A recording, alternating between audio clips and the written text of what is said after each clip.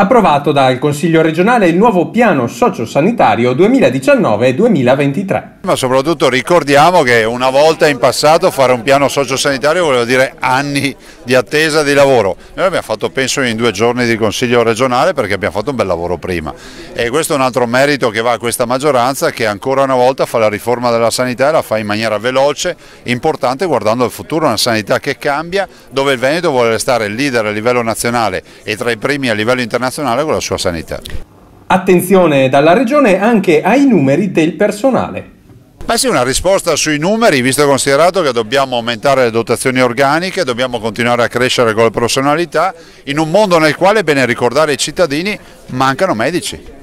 Mancano medici anche perché si calcola che di questo passo tra qualche anno mancheranno 56.000 medici in Italia ed è scandaloso pensare che i nostri ragazzi vengano selezionati con dei test d'ingresso che sono ridicoli se io devo scegliere un grande chirurgo, a 18 anni non posso immaginare di sceglierlo con un test, ma devo vederlo operare in sala operatoria. Quindi le selezioni si fanno all'università e non ai test eh, di ingresso all'università.